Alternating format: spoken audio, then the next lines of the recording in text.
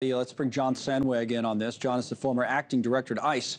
He was there during the Obama administration, former acting general counsel at the Department of Homeland Security. So on these points, you've heard from, you know, a number of prominent Re Republicans, certainly in Georgia. The governor is going to be on our show tomorrow. Uh, said, you know, today that the uh, Biden administration immigration policies are are to blame for a lot of this. What would you say about that? This terrible events, this terrible event in Georgia. Well, first of all, let me just say it, it is a terrible, terrible event. And when I was the acting director at ICE and when I was at DHS before even going to ICE, your biggest nightmare is something like this. Someone who was previously on the radar screen, uh, was not taken into custody, uh, and then something horrific like this, this murder happens. Uh, absolutely the kind of thing that keeps you up at night worrying about it, um, and the kind of thing that makes you do some serious reflection when this happens about what, what occurred. I will say this quickly, though. The first thing is there are two touch points with Mr. Ibarra, it appears years. One is at the border in 2022, and then later this NYPD incident. It is very hard to blame the administration for not taking him into custody at the border in 2022. I know there's been a lot of discussion about this issue of the use of paroles at the border. The bottom line is ICE is not funded anywhere near to the capacity to detain every single person who's coming across the border. So just as it relates to this one issue, should ICE have detained him in 2022? You know, remember, ICE is funded for about 40,000 detention beds per day annually. We are getting hundreds of thousands in a month. Right. There is no possible way they can do this. What they can do is what they're doing. They try to make risk assessments, decide is this person a threat or is that person a threat? I don't know all the facts. I think there's a lot of facts that need to come out about this case, but I don't think there was any indication in 2022 that Ibarra posed a threat. And with the resource constraints they're under, I don't think they had a choice but to release him. Any indication that if um, some of these measures that are being pushed for in, in the various bills that we talk about all the time were in place, that they would have had, you know, more at their disposal in in that area, you know, to do more at the border itself? Yeah, certainly the congressional bill, because it carried a ton of money for ICE and a ton of money for detention operations, would have increased the chances. Candidly, Connell, probably still, if he's just somebody for whom there's no what we would call derogatory information, right. someone who no indicia is a threat, probably not going to be detained at that time. Look, the bigger question here, though, is what happened in New York right? What happened in New York where he's charged with endangering a child, did ICE miss it? Was I slow on lodging the detainer? And then, you know, look, let's be, let's face it. I mean, New York City is a sanctuary city, yes. which means explicitly they won't necessarily honor ICE detainers.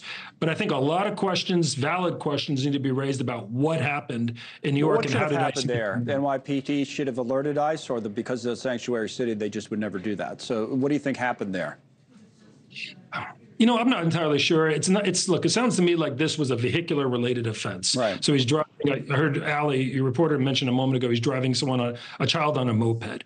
It's possible he was cited and released by NYPD. Uh, it's possible that he was brought into a station and just released very quickly. A lot of that facts will depend on you know looking at who's at fault here, right?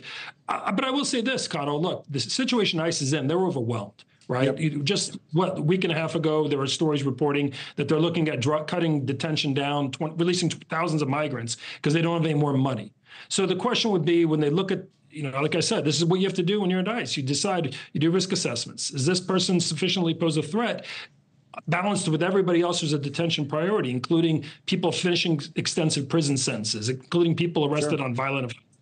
So I, I, don't know all the facts here, but I will say this: it's this is what you don't want to see when you're at ICE, and the first of thing course. you ask. Of course. Directors. Yep. Did we t- did we ever see this guy before? And if I found out he was arrested by NYPD, I'd be very curious to know how did we miss him. All right, so that's one of the things we have to get um, get answers on. You know, uh, final thing, John, on the political side of all this, we're talking about would bills that were you know being debated if they were in place would have made a difference. I had Congressman Carter, Buddy Carter from Georgia, on uh, last hour. So I was talking to him first about the Senate bills that the Republicans uh, killed, but he was saying on the House side they they they had their own uh, version, HR2, that he thought would have made a difference. Here's what he said. We passed in the House H.R. 2, which is the most comprehensive border bill that there is out there. And if we could get the Senate to take that up, then we could end much of this. But right. let me be clear the president can end this, he can end this himself. Okay, so that's two parts, John. Number one, would that have made a difference? And that second part that he brings up ahead of the president's trip, by the way, to the border coming on Thursday, what can he do himself? Very quickly, Connell, look, mandates to ICE to detain more people, mandates to the administration to detain more people without the funding are pointless. Right? The, the funding, I can't begin to explain to you how short we are of the funding.